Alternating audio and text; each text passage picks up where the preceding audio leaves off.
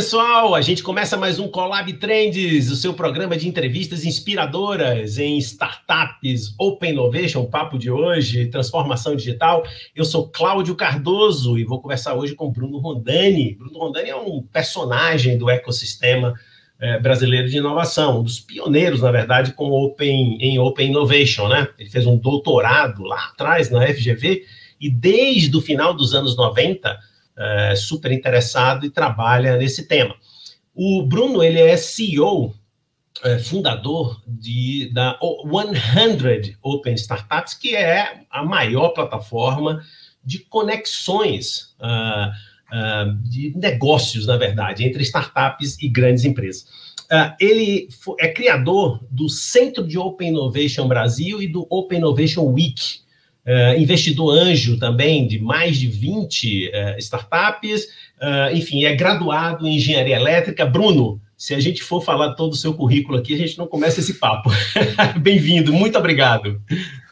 Muito obrigado, Cláudio. Prazer aqui estar falando com você. Acho que à disposição aí para fazer uma boa troca. Você vai levando muita expectativa, vai complicando para o meu lado, mas vamos lá.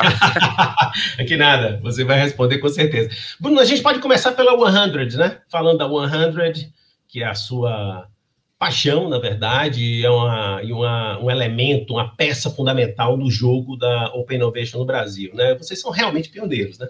Inovação aberta, estão na estrada bem antes da quase totalidade dos atuais participantes do ecossistema. Então, fala um pouquinho da gente, é, para a gente, da sua trajetória e explica o que é que a plataforma oferece ao ecossistema. Legal, Claudio. Eu, eu acho assim, como é, praticante, né? Eu comecei como engenheiro e, e me envolvi com o desafio de inovar na empresa.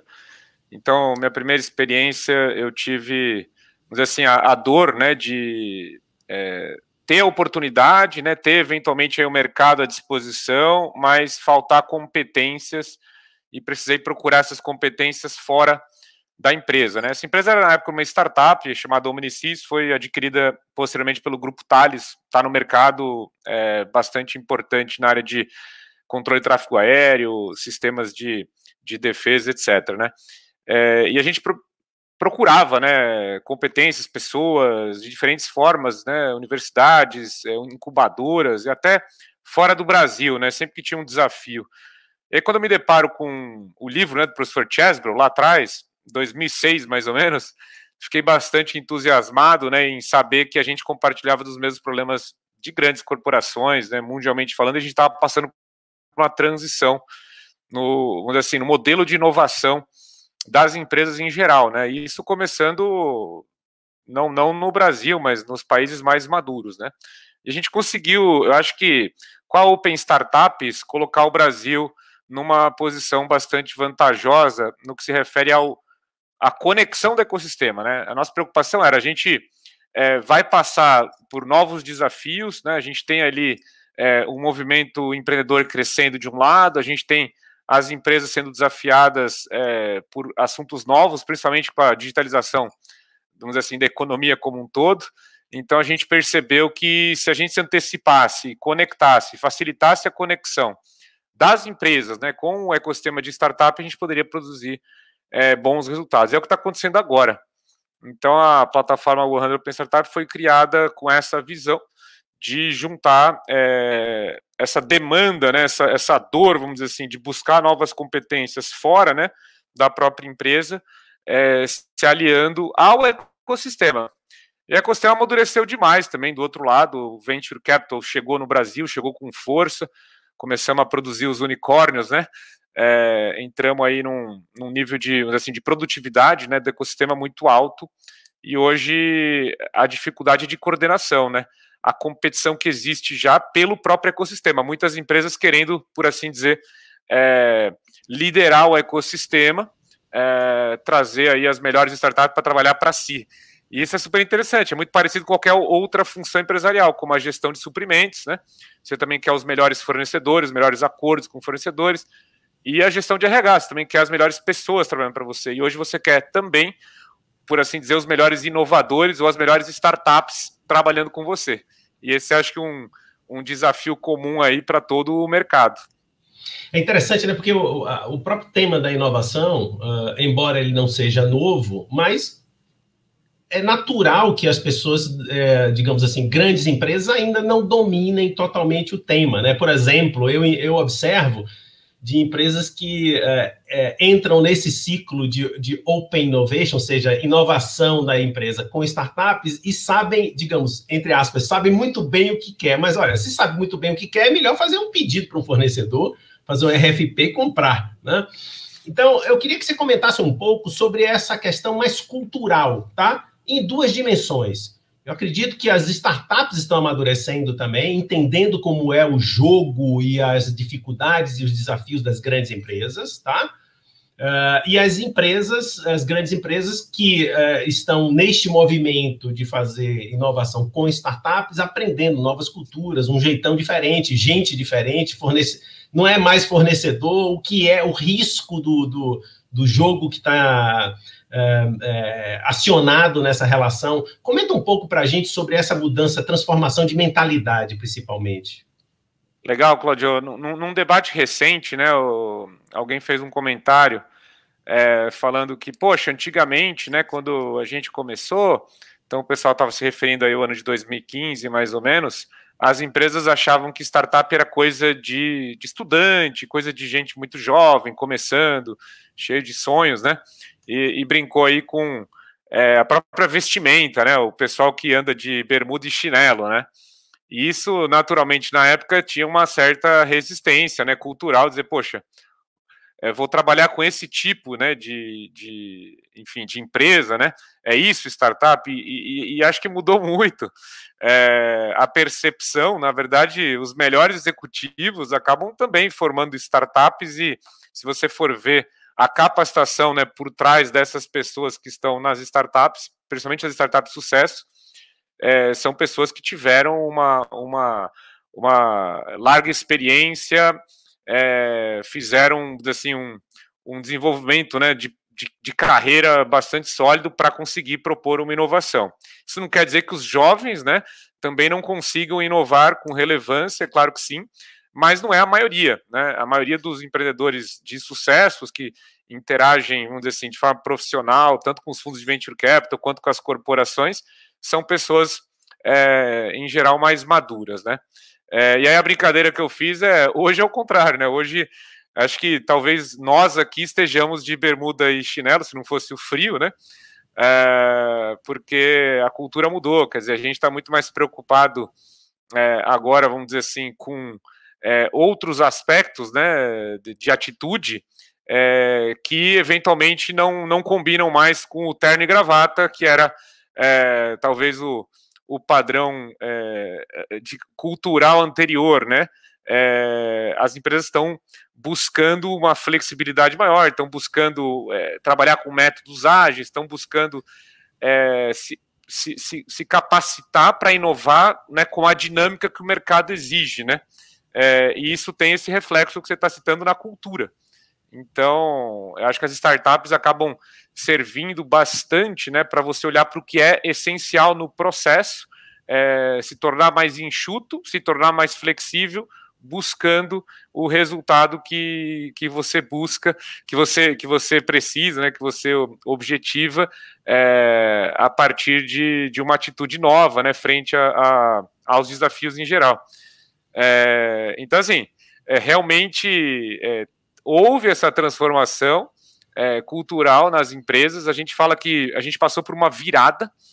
O que antes era empurrado, vamos dizer assim, por um, um discurso de inovação de uma área eventualmente que já tinha sido criada, mas não estava empoderado o suficiente, e eles tinham que, de certa forma, é, promover o tema, agora é o contrário. Agora, acho que todo executivo percebe que para é, cumprir com os seus objetivos, com o seu mandato enquanto executivo, né, com os seus KPIs, né, é, ele precisa de inovação. E aí é ele que passa a buscar a inovação, é ele que pede e, e exige, de certa forma, das áreas né, de conexão com o ecossistema maior eficiência, maior é, velocidade, é, enfim. É, e a Open Innovation passa a ser uma prática gerencial nas empresas você começa a ter executivos também mais qualificados. Não é aquele que sobrou ali aquela área que foi fechada, pelo contrário, agora os executivos que cuidam dessas áreas são executivos é, bastante promissores dentro da empresa, né? Com, com o que a gente fala, né? Com, com a possibilidade, inclusive, né, de, de atingir aí o C-level, inclusive ser, ser CEO. A gente costuma dizer, é, ou, ou, melhor, a gente começou a dizer, né? Que o, os próximos CEOs vão ser formados por pessoas que vêm de áreas de inovação, que tiveram resultado com a área de inovação ou com áreas de pessoas, né?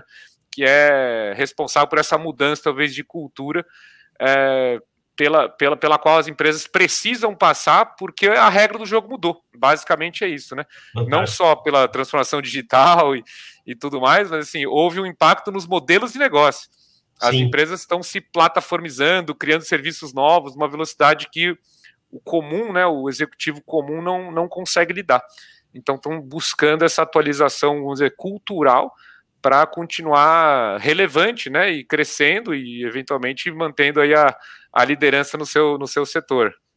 Bruno, eu, eu, eu, eu é, conheço há algum tempo e uma das coisas que me sempre me passou pela, é, pela cabeça quando te encontrava é, é, era o seguinte pensamento: putz, o Bruno ele ele ele tem uma é, digamos uma é, missão educativa também, né? De, de, de transmissão, né?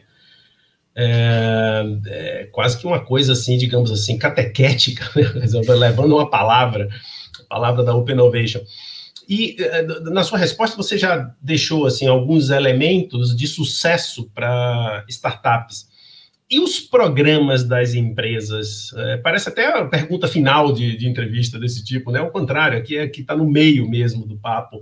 É, o que que você é, identificou como, digamos, é, não sei se erros, mas deficiências ou imperfeições mais comuns no, nos programas empresariais de Open Innovation? Ah, muito bom, Claudio. É, você pega um ponto é, central, né? Há muito tempo, quer dizer, eu, eu fui buscar um doutorado em Open Innovation na época que eu estava numa transição de carreira e justamente queria me, me reposicionar, eu tinha trabalhado com, com desenvolvimento tecnológico, estava, é, enfim, começando a fazer investimento em startups, eu queria é, voltar a empreender, então fui buscar essa, essa, enfim, capacitação no meio aí de um, de um doutorado, né?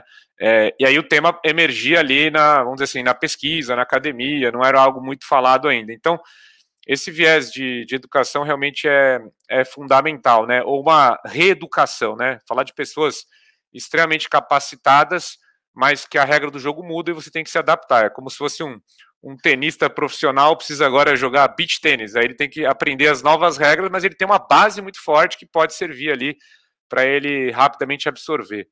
Hoje, eu diria, é, o Claudio, a principal deficiência que existe né, nos, nos programas de, de Open Innovation é a capacitação mesmo, né? É, é pessoas que, é, por serem muito capacitadas nas suas áreas, muito conhecedoras, acabam tendo também muita resistência em relação ao que está sendo proposto é, como inovador.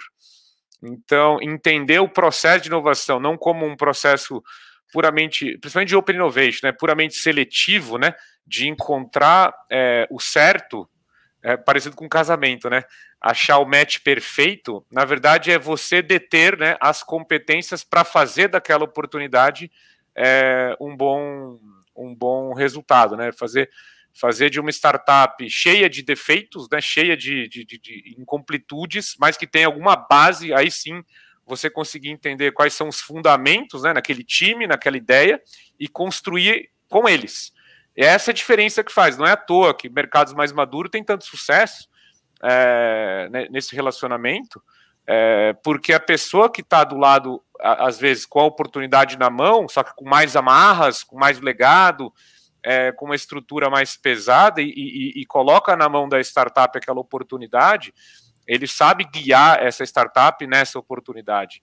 E a gente vê isso pouco aqui. É, tanto é que acontece muito, viu, Claudio? A pessoa começa a procurar nas startups, aprende, vê que tem um monte de coisa, mas dado a, as deficiências que existem, né, pelo nível de maturidade daquela startup, acabam preferindo eventualmente trabalhar com um parceiro mais consolidado, mais maduro, é, que, enfim, em alguns casos ele vai estar certo, em outros casos ele está deixando é, enfim, a oportunidade de, de, inovar e de participar é, capturar mais valor dessa inovação, aproveitando uma relação mais, é, mais convencional. E isso é por talvez não saber fazer. Em alguns casos, lógico, que se justifica, questão de prazo, de risco, essa é uma decisão que vai estar sempre ali. É, mas é, é, mais ou menos como falar, não vou contratar trainees é, ou não vou contratar estagiários e vou contratar sempre pessoas experientes e qualificadas e você não conseguir renovar a tua empresa. Né? As startups, não que sejam juniores, né? É, muitas vezes são executivos sêniores ali que estão implementando aí uma inovação na startup, mas a, a, organização em si, por ser startup, tem muito por fazer.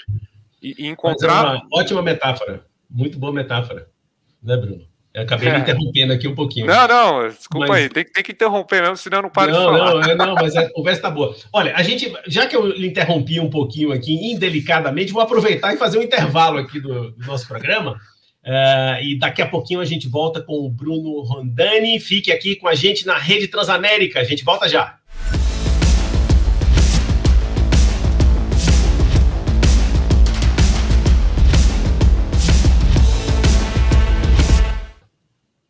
Colab Trends está de volta. Eu sou Cláudio Cardoso. Hoje eu estou conversando com Bruno Rodani, que é o fundador da 100 Open Startups. Bruno, peça-chave aí do nosso ecossistema. Você não gosta que eu fale isso porque você é um cara muito simples, mas é verdade.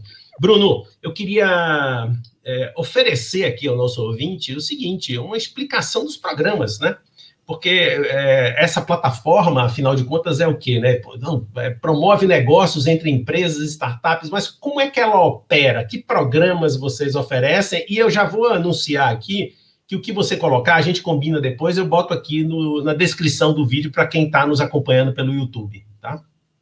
Ah, obrigado, obrigado pela pergunta, Claudio. É, é, é importante é, sim explicar, porque realmente, né, o mercado foi evoluindo, mudando bastante. É, e, e, e, o que a gente se propõe a fazer, a gente foi também se atualizando para essa nova realidade é, de mercado. Então, qual é a realidade agora? São muitos participantes, muitas startups qualificadas. É, a gente entendeu que são três pilares chaves para a gente trabalhar, vamos dizer assim, a partir de agora e, e os próximos anos. Né? De um lado, a capacitação. É, o que a gente propõe enquanto capacitação é aprender jogando, quer dizer, trazer executivos a gente tem um programa específico onde o executivo não precisa já ter uma demanda ou uma oportunidade aberta, mas ele quer se conectar, ele quer conhecer o que existe. E ele se coloca no mercado, à disposição do mercado para dar feedback para as startups e eventualmente ser selecionado por alguma dessas startups pela qualidade do seu feedback para ser um advisor dessa startup e evolu evoluindo eventualmente para ser um mentor. Esse programa a gente chama de 100 10 1. A gente propõe que o executivo é, avalie 100 startups de forma rápida pelo card da startup, dê feedback para pelo menos 10 dessas startups a, após uma reunião de 20 minutos com a startup e acompanhe as startups que ele quiser e que a startup também é, o convidar para isso por um período mais longo e a gente vai acompanhando a qualidade desse feedback, ajudando o executivo a criar essa competência né, de participar da jornada inovadora de uma startup. Isso a gente acha que é, é fundamental se você quer jogar o jogo da inovação, ter esse tipo de experiência. Né? Uh, num segundo nível, a gente vem trabalhando a estruturação de processos e métodos, né, a partir de. São três playbooks que nós desenvolvemos para as empresas aplicarem no processo de identificação né, das startups, seleção das startups e a captura de valor delas, dependendo do objetivo que a gente separa nesses três playbooks, é que a gente chama de eficiência operacional, é, parcerias de negócio ou desenvolvimento corporativo, que em geral envolve é, participação societária, né, um investimento, até uma aquisição da startup, né?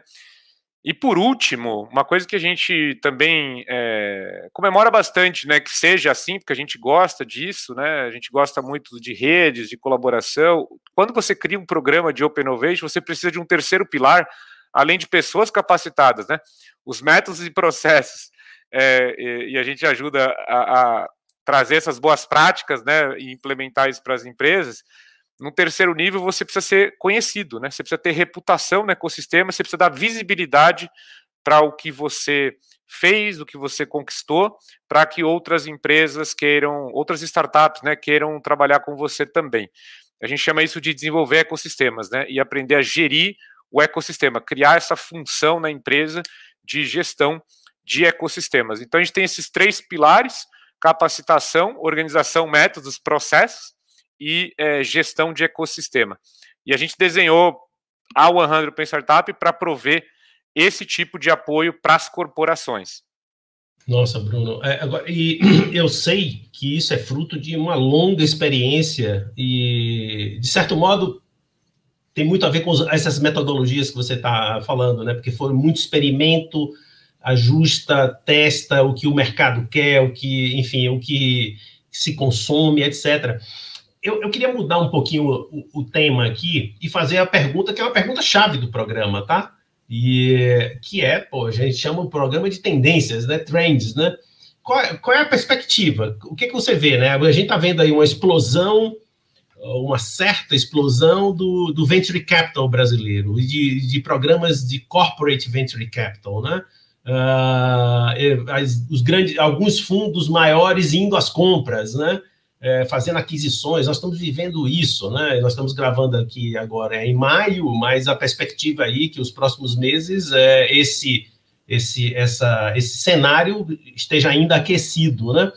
Como é que você vê com essa perspectiva de hoje e como é que você olha aí um futuro mais imediato, pelo menos de um ano para frente ou dois, enfim, é, não sei se é possível ver isso num, num mundo tão em ebulição, né, que nós vivemos. Não, com certeza, Claudio. A gente, é, a gente teve uma visão lá atrás, que eu diria assim, é, baseado na pesquisa acadêmica, 2009, 2010, já se desenhava para um cenário nesta década, né, que, que passou agora, até 2020, vamos dizer, que era da popularização da Open Innovation. Né? Por isso que a gente criou o centro, criou o Open Innovation Week, os números foram crescendo, vamos dizer assim, é, é, bastante, é, de forma bastante significativa de ano a ano, e nos últimos cinco anos é, o crescimento foi, foi, foi exponencial, né? Chegamos aí a, a, crescer 30 vezes nos últimos cinco anos a intensidade desta prática Open Innovation com startups especificamente, né? É, o que, que, a gente está vendo agora? Já existe esse mercado, né? Já existem as startups, já existem muitos negócios sendo feitos, né? A ordem de grandeza dos volumes desses projetos já ultrapassa aí a casa dos bilhões, né? Então, é, o que, que há de novo, né? Que, que, qual que é a então, essa parte que o pessoal fala né, de corporate venture capital, M&A, isso é decorrência natural, já esperada do fato né, das empresas terem ingressado no ecossistema, é, ter, terem se relacionado com startups e passam a adquirir muitas delas, e os números já são bastante significativos. Mas eu, isso, isso eu diria que já é uma, uma realidade que vai continuar crescendo. O que há de novo para mim o, Claudio, que é algo que você conseguia também vislumbrar lá atrás, mas andava muito devagar.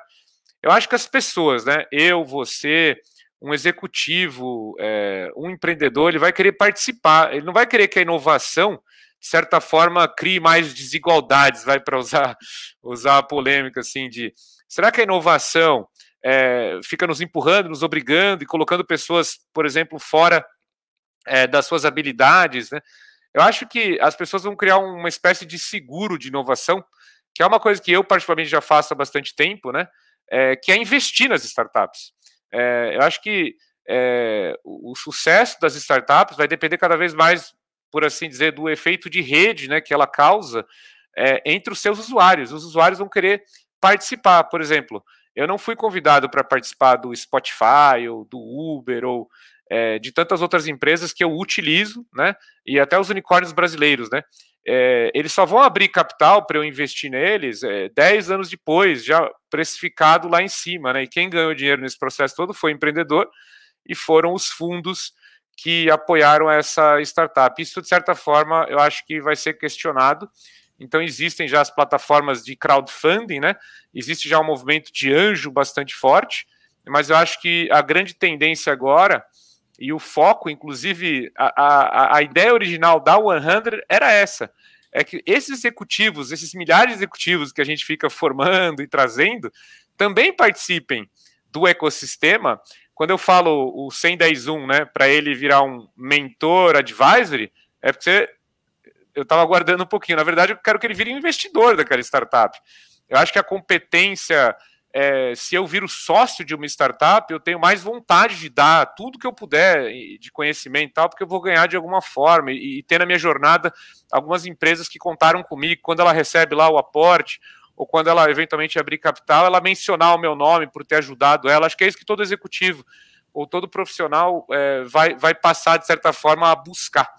Então, acho que o mercado vai ser, é, de startup, vai ser financiado também pelas pessoas que ajudam a partir das plataformas de, de investimento é, colaborativo, né, o equity crowdfund ou investimento anjo. Eu acho que a gente vai ter um grande crescimento nesse sentido. Inclusive os fundos, né, de venture capital, é, alguns já estão sendo, vamos dizer assim, capitalizados por pessoas físicas com tickets que antigamente era de 5 milhões de reais, 1 milhão de reais, passam a, a, existir ofertas de mercado de 50 mil reais, né, baixando bastante é, a, o, o, essa barreira de entrada, vamos dizer assim, para os investidores. Mas hoje você pode entrar numa startup com valores abaixo de mil reais, né? É, e acho que essa é a tendência, Cláudio. Você Fantástico. conseguir financiar é. pela rede o teu, o teu projeto inovador.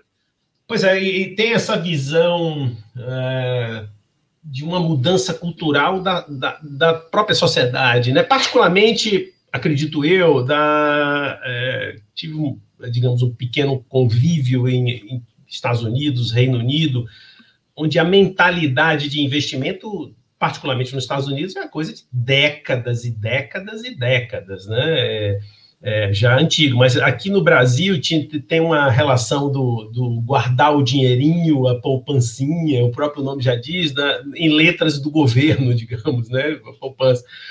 E, e, ou seja, o que você está é, nos sinalizando de uma forma muito promissora e eu acho que feliz né, para a sociedade é essa, essa explosão dessa nova mentalidade de investir em quem produz, em quem inova, apostar para multiplicar os seus uh, os seus recursos de uma outra forma, né?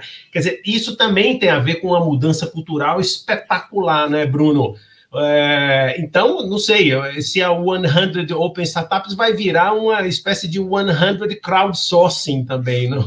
ou, Na verdade, já, já estamos em experimentação. A gente já fez algumas rodadas nesse sentido, vai fazer algumas outras esse ano. A gente já tem a regulação CVM a ideia é essa, que os avaliadores executivos possam também escolher startups para investir. Eu tive particularmente essa decisão, eu virei investidor anjo quando aconteceu exatamente isso comigo. Eu queria me formar e aí eu comecei a procurar os melhores cursos por aí, na época que a gente viajava para fazer cursos, né, Cláudio? Então, procurei lá cursos das melhores universidades, executivo, e era super caro, né? É, fazendo a conta aí é, é de padeiro, pô, vou ter que gastar uns 50 mil reais na época para fazer essa formação em investimento, investidor anjo, venture capital. O que, que eu fiz? Estava se formando um grupo, né, chamado Inova Ventures Participações lá na Unicamp, promovido pela própria Unicamp e alguns empresários da região, e me convidaram. Eu coloquei é, o que eu iria gastar em formação nesse, nesse pool de investidores. E ali a gente interagiu tem hoje lá unicórnios, né, que saiu de lá, é, não como startups investidas por nós, mas os empresários. Tava o Fabrício Bloise, né, que hoje é CEO do iFood, tava o César Gon, está, né, estão, é, que fez a, a CIT, o Fernando Mate, que acabou de, de fazer uma grande captação para a Sensidia, de acho 120 milhões de reais, né, os fundadores da Matera, é, inclusive sócios aí da, da Redpoint, sócios da Baita, pessoas que hoje são atores extremamente relevantes no ecossistema. E eu, por exemplo, da 100 Open Startups. E a gente aprendeu junto ali, errando, perdendo dinheiro com uma outra startup, mas que ajudou muito nos nossos negócios. E algumas startups foram vendidas, né? Uma foi vendida para Hello Food, outra foi vendida para Loft, outra acabou de receber um aporte da Positivo, uh, outra foi investida aí pelo, pelo Bradesco, enfim é, enquanto rede de anjo, a gente conseguiu ter resultado. Talvez não para ficar rico, porque a gente colocou pouco dinheiro, mas pessoalmente aprendemos muito. Foram 10 anos já.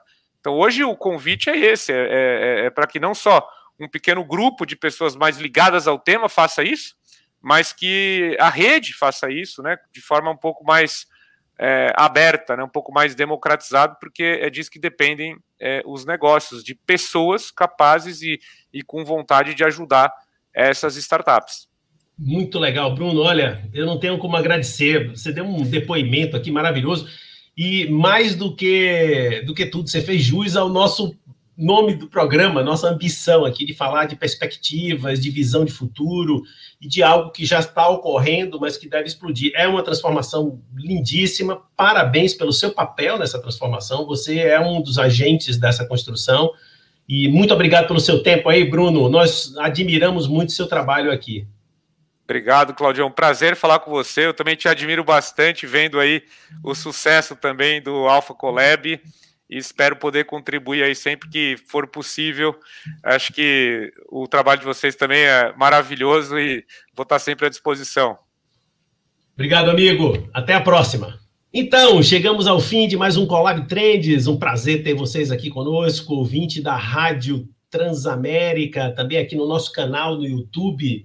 Uh, se você ainda não se inscreveu, se inscreva, ative o seu sininho, dê o seu like, claro, e também nos acompanhe pelo Spotify. Hoje eu conversei com Bruno Rondani, que é o fundador da 100 Open Startups, a maior plataforma de negócios entre grandes empresas e startups no Brasil. Fique com a gente, voltamos em breve com o Collab Trends.